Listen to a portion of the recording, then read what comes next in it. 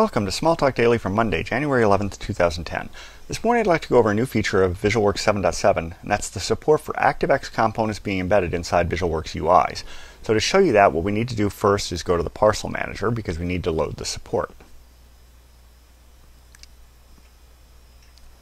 So once that comes up, you'll notice that a quick tour through here, it doesn't appear to be in here, and that's because COMALL doesn't include the ActiveX support. It's not in this suggested list. I'm not sure why. What you need to do is go over to the Directories tab. And you select COM, and here you pick ActiveX All. That's just a loader. Loading this will take a little while because it brings in the COM support and the ActiveX support.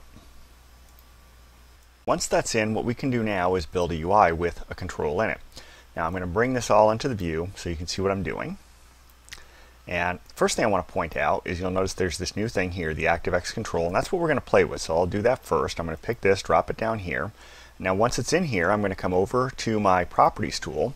And first I'm just going to specify an aspect so I can work with it.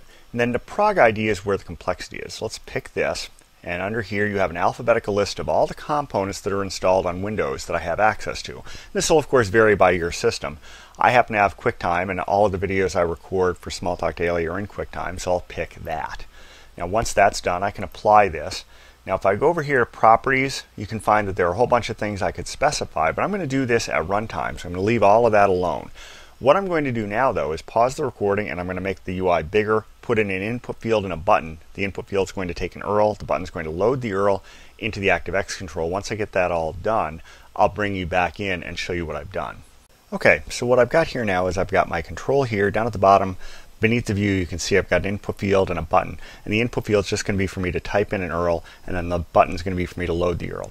So what I'm going to do now is I'm going to hit install and I'm going to install this in a class called myPlayer. I'm going to just hit OK on that, let it go to all the defaults, and then I'm going to hit define, and that's going to define everything behind all the things. Now let me deselect myPlayer and just go ahead and have it define everything. So I will go ahead and do an, a define again.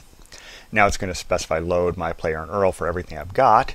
And at this point I can close this for a moment because I can go back to the browser and show you how to write the actual code to load things in. So let's see what we've got first. Let's go down here to the package I've created, which is my player. And I've got this, and here I've got my control, which is an external control proxy. If you wanted to know what APIs this guy supported, not the proxy, but the actual underlying control, I've shown you this tool before. If you go to COM and you go to Browse Automation Classes, this brings up a four-pane browser on all of the automation controls and classes that are in Windows. So you could go here and browse, and that's how I found the APIs that I'm about to show you here. So I'm, rather than do that, I'll leave that as an exercise to the user. I'm going to go to load though, and I'm going to do two things. The QuickTime player is self my player value because it's a value holder and it is the dispatch driver. That'll drive down into it and get the actual control itself. And having that, I can say qt set URL. This is the API I spoke of. And I'll do self URL value.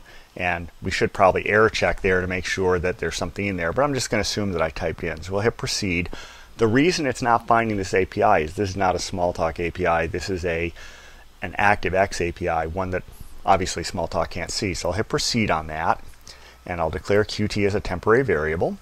And now having done that, let's go ahead and open this. So we're going to come over here and we're just going to type open and do a do it on this. Okay, so I'm putting in one of the screencasts I did last week and I'm going to hit load. Okay, so now you can see it's in there. Now again, the player itself is a little below your view. What I'm going to do is I'm going to hit play and you won't be able to hear this, but you will be able to see the stuff that's happening on the screen. So you can see the mouse is moving and things are happening. So what I've done here is I've embedded the QuickTime control into a VisualWorks window and I've got an input field and a button that allows me to go ahead and play that. So this is something you can now do using VisualWorks. You can go ahead and build an application and have it map in a Windows component, a standard one that you use for other applications, and then take advantage of things that already exist. So instead of having to build everything yourself in Smalltalk, if you're on Windows, you can take advantage of that entire class of things that other people have built and you can leverage that other work. So that's about it for today. Until next time, have fun with Smalltalk.